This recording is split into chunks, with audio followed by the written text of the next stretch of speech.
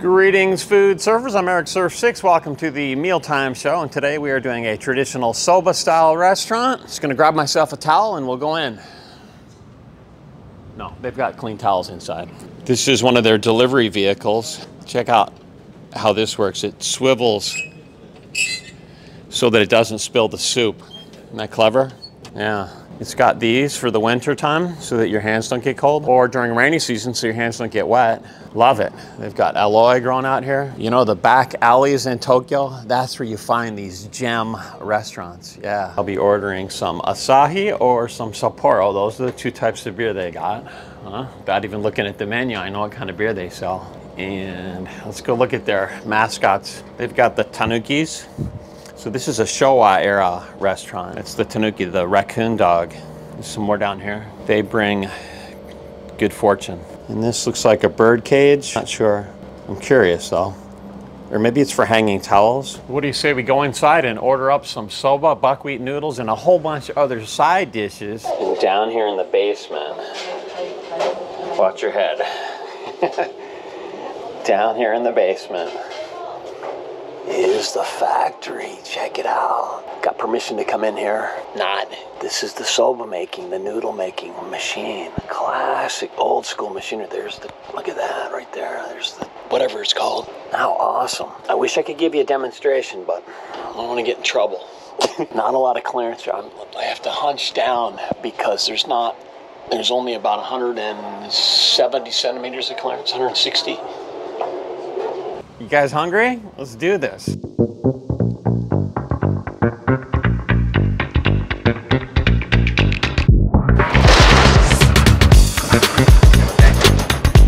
Oh, they got a vending machine. Yes, loving it. Okay, uh, let's see. I think the Kitsune, this is the one. It's got the, uh, what do you call it, deep fried tofu. You get a ticket and then you give it to the counter staff. Okay, so that's one. What else should we get? Tempura over rice. Let's get that mixed tempura for $14.50 at $10. It's the most deluxe item in the place. Okay. And let's see, finally, get a beer. Yes, definitely. They've got chu bin and they've got dai bin. I'm gonna get a big one. I'm pretty thirsty today. 650. Oh, look at the coin slot. It's a, it's a tray. I love these because you don't have to find the slot. You just pop it in. You throw it in. Groovy. I like that a lot. It didn't like my 100 yen though. Okay. 650. Let's get one. And I think I got to get some chashu pork, right? That's a side order. Yeah, always got to try that. 450. 450 for some really nice, what do you call it? Braised pork. Oh my gosh, roasted pork. So good. How do you know, Eric? You haven't even tried it yet. All right, so we'll start. We'll start with these four, and then we'll get more later. It's classic.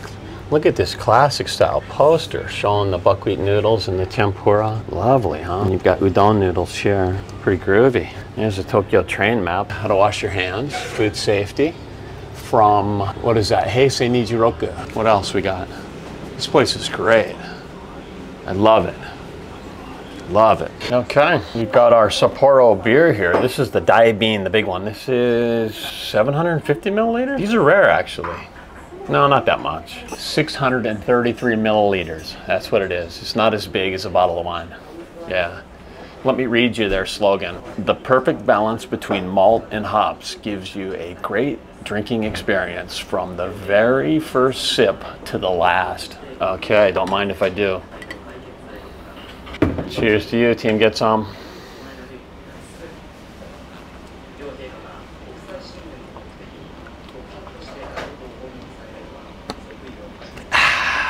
Very refreshing. Okay, and the appetizer has arrived. This is called the otoshi, which is the table charge. I'll put the cost down below, probably $2. This is kiriboshi daikon, daikon radish, dried radish with other mixed vegetables and some little morsels of meat as well too. Mm. ありがとうございます。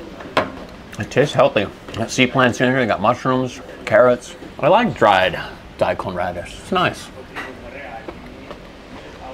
Hmm. Next up is the side order of braised pork, roasted pork. Comes with some nice onion topping, some looks like marinated onions. Oh, that looks really nice. And some hot mustard.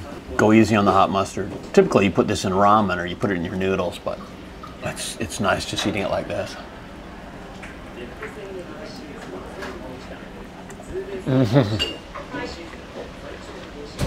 oh my gosh. Just the perfect mix between meatiness and fattiness. There's a chewiness and a softness of the, of the, the fat. You can see the color. You see the white there. Gorgeous cut of meat. Mm. Mm -mm. Mm. Oh, and those scallions on top. Very nicely marinated. It's in like a a tangy shoyu, like a vinegar shoyu. Very nice. I want to eat another one, but we'll wait till later. I'm gonna mix this in with the noodles. Here's another appetizer dish. It's called tatami iwashi. So tatami, because it looks like a tatami mat, I guess. The texture kind of does. And iwashi, baby sardines. And don't forget the mayonnaise with the chili powder flakes. Oh, that's too much, Eric. It's too much. It's just right. Look at those cute little sardines, eh?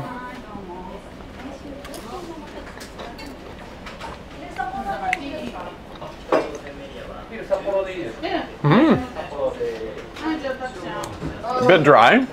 It's definitely dried fish, but the mayonnaise kind of moistens it, and the beer will wash it down nice.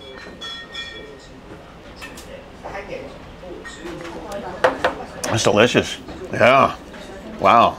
And easy to remember the name, Tatami Iwashi, because it looks just like a tatami mat.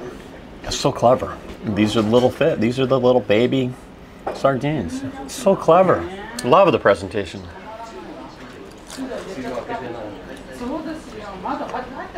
Hmm. And you can tell they're just cooking this on a grill right here. All right, they're cooking it on a barbecue. You can see that's charred right there. Brilliant. What's next is my placemat. I love this square placemat. I've never seen one of these before, a square placemat. I think we're gonna do some origami later. We'll do a, uh, a quick episode of cool stuff, perhaps. Perhaps, no promises. This is a dill pickle. Appears to be a giant dill pickle. I mean, the color going in. Mmm. Cucumber. I'm gonna dill it all. Crunchy. It's a cucumber. I was really hoping for a dill pickle, which you will never find in Japan. They do not exist, except at some of the high-end hotels. The next three dishes have arrived, and this right here is calling me out. This is fried octopus right here. Looks beautiful. My placemat is getting smaller. Let's hit it with the lemon, shall we? Yes, we shall. And it also comes with the hot mustard. Okay. Double dose of the hot mustard today. Beautiful. Okay, going in for the octopus.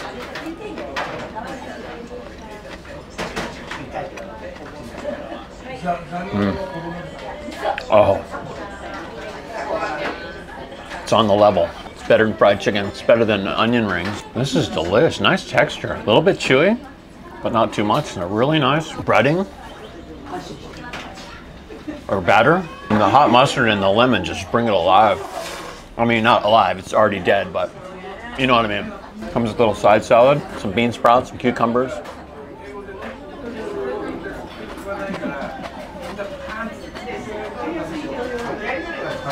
Very nice dish. Yeah. What? almost. Let's go for a healthy dish here. This is creamy tofu. How creamy is it? Does it jiggle? It's not that jiggly. And it fits my new placemat perfect, doesn't it? Look at that, huh? Don't forget the sauce, boss. Is the sauce boss? You get an awful lot of it. I don't guess you pour it all on, I'm not sure. Jeez. It's a tofu soup now, if you will. Very interesting. Mmm. Oh, it's a nice sauce. It's like a, I don't know, tastes like a bowl of soba. Mmm. Oh, this tofu is delicious. So creamy. It's like pudding. Mmm. There's onions in here. Gorgeous, huh? I could eat this stuff every day. I'm not a big tofu lover, but this stuff is bomb, yo. In fact, no, it's not bomb. It's lit. Oh my gosh. I, in fact, I'll drink to that right out of the bottle. Mmm. Time to get excited, team get some. More dishes have arrived, but I think it would be a good time for a break. Let's do an episode of cool stuff with the placemat, shall we? Okay, right underneath my fork here. It keeps shrinking down in size. And this work of art right here is what's called a Japanese shuriken or a ninja weapon. So what I'm gonna do is I'm gonna throw it towards the camera lens. I'm gonna get in right to your jugular, jugular vein. Okay, ready? Here we go. No, just kidding. That's not what it is. Check it out. The owner, the owner of the restaurant has just given me a gift. Look at this, 2020 Olympics. Oh, we've got natural air conditioning in here. And remember, the 2020 Olympics happened in 2021, and the next Olympics are in Paris, France. That's right, 2024. Are you going to be there? I'm not going to be there. Maybe I'll be there. They got surfing. They got topless beaches. All right, so let's cool down these three meat dishes here. We've got some beautiful salmon. Pan down, camera person. Pan down, pan down, pan down. This is good. Got to cool this meat down. Okay, so where were we? It's not a shuriken. It's not a it's not a weapon. This is what's called a cootie catcher. You ever seen one of these before? Let me prepare it. It's been a while since I've made one of these. My mom actually showed me how to make these when I was probably, I don't know, seven, eight years old. Okay. Okay, ready? So you, you just kind of open up, open it up like that. okay. And I've noticed that this restaurant, it's so old that there are some little varmints that come in from the outside. So over here in the corner, can you show the corner right there? Right over there in the corner. I've noticed some some little insects coming in. I'm just gonna go in with the cootie catcher and see if we can grab some. Ready? In three, two, one.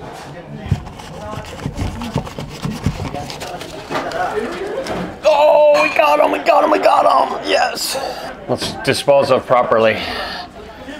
Okay.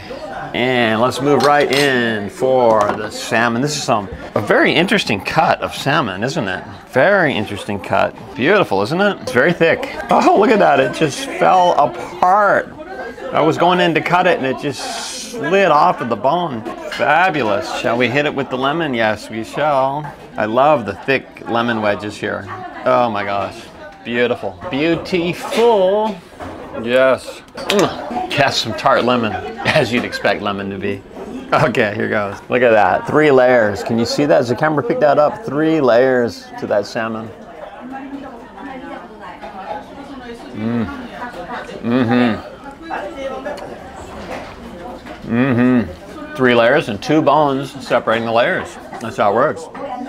This is delicious. Salmon steak, if you will. Okay, and over here is the fatty side. See, look, you can see the fat right there. Look at that, fatty salmon. It's just like, it's right up there with fatty tuna.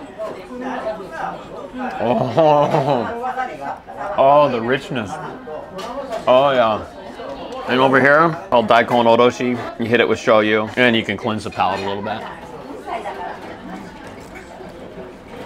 Get in there for a close-up. Look at that. Look at the color. See the white? That's the fatty portion. It's just delish. Oh my god.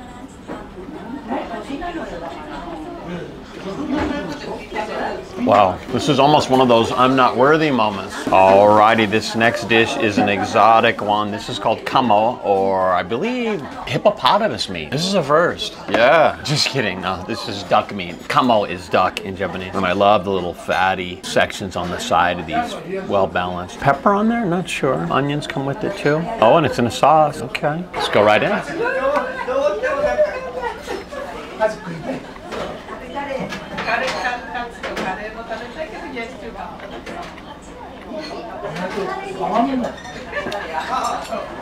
Tastes like hippopotamus, a bit gamey. Bit on the tough side, bit on the dry side, but I missed the garnish over here called yuzu kosho. So it's like a citrus fruit with pepper. Okay, look kind of looks like wasabi, doesn't it? Is that gonna help it? We'll see. Definitely get it in this sauce or oil down below. Okay, here we go, take two.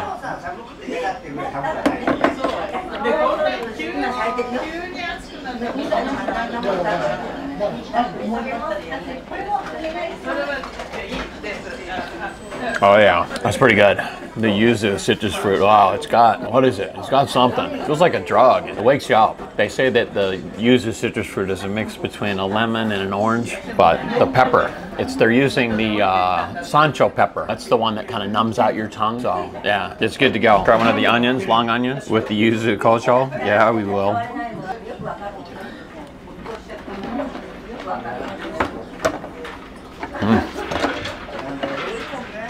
Okay, next up, this is a type of fish cake. Oh, it's sliced. Nice, I like that, how it's pre-cut. Okay, and what's that inside there? Looks like octopus inside there, maybe. This one also comes with some onions, and looks like maybe that's ginger. It's probably put some shoyu on here, too. Okay, here goes.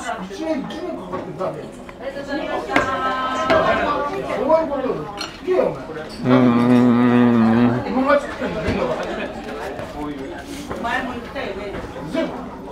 It's got the texture of an eraser, but a good quality eraser. You know, not one of those cheap ones. It's pretty good. That's what it is. Fish cakes are, are very gummy just by nature. Nice flavor with the ginger. I like that, the ginger and the chives. Yeah. And this one here, right down below, is uh, this is called tsukune. It's interesting because typically they all come on a stick, but where's the stick on this one? This one is special. No stick. Can you eat it with the spoon?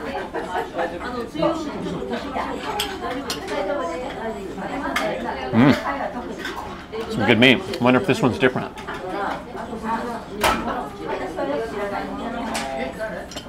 Nope, they're the same. Wonder if this one's different. It's on a thicker stick.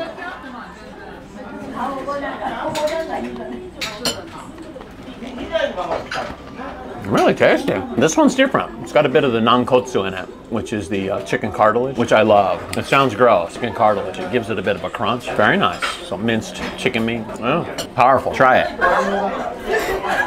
Apologies it took so long for the soba noodles to arrive. This is called kitsune seiro soba. That's right, the kitsune refers to the tofu that's in here. Look at that tofu. This is a deep fried tofu. Oh, you know that's gonna be gorgeous. It's meat-like. And What's in here? Bean sprouts. Look at that. Komatsuna, which is mustard spinach. And then the deep sauce. Look at this sauce. This is the soba noodle sauce for dipping the buckwheat noodles, which are over here. Yeah, I'm gonna go right in for the sauce. And the sauce is calling me out.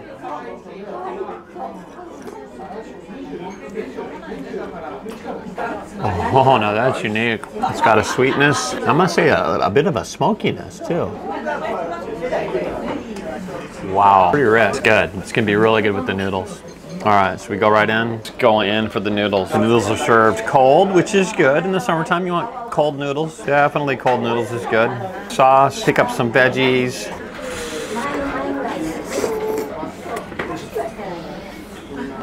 Hmm.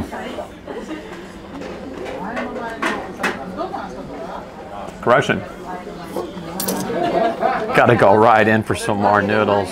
No, let's do this, the deep fried tofu. Stop playing with it, Eric. Come on. That's a huge bite. Let's just do half.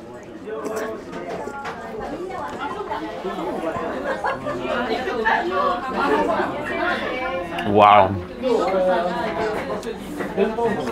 I mean, wow, what a cool way to eat tofu. Um, got this, it's like beef jerky almost. No, not beef jerky. What is it? The texture. Again, it's Japanese traditional food. It's all about the texture. Never had anything like it. I don't even know how to describe it. I'm not even gonna try how to describe it. It's that amazing and unique. Fabulous. Six out of six. All right, ladies and gentlemen, we have arrived at the second main event. There's a second main event for this meal?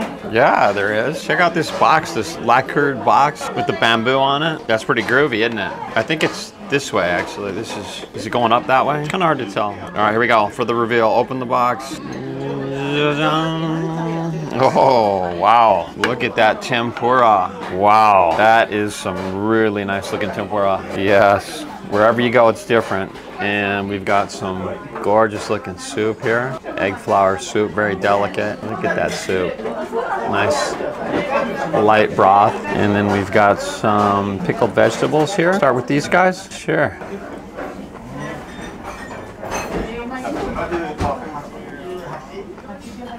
Mm. Some meat in there too.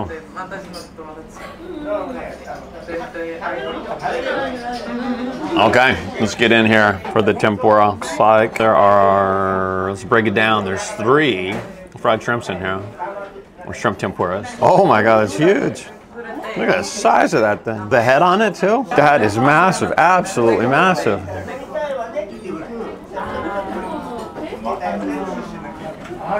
Mm. Oh. Oh.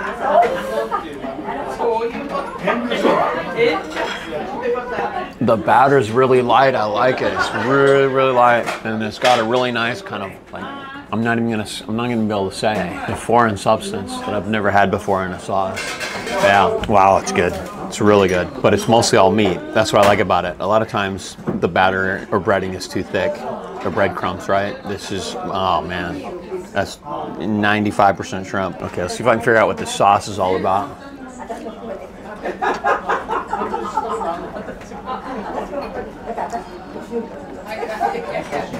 No idea, but it's amazing. Going for a little bit of the rice.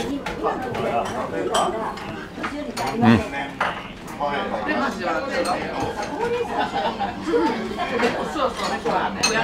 We've got a Japanese squash here, or pumpkin.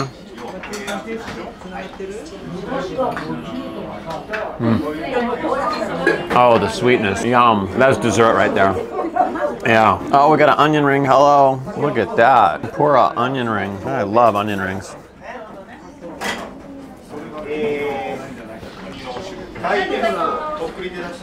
Oh, that is banging. Got a bell pepper here. Mm. Oh, fabulous! It's the shrimp. The shrimp is the shrimp is the main event. Those three jumbo shrimps on the bottom. But we do have one more item here. This is eggplant. Love me some Japanese eggplant. Mmm.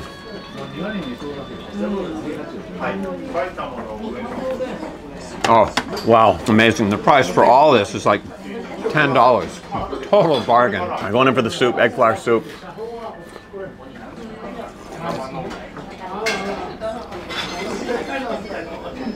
Mmm. You know, it's a nice change from the typical miso that's served in most Japanese restaurants. I like this a lot. It's got, feels like cleansing properties going on. It's, it's very pure, like green tea. Mmm. Okay, so that is going to do it for this meal. They do not serve dessert here, which I'm okay with. We had plenty to eat, didn't we?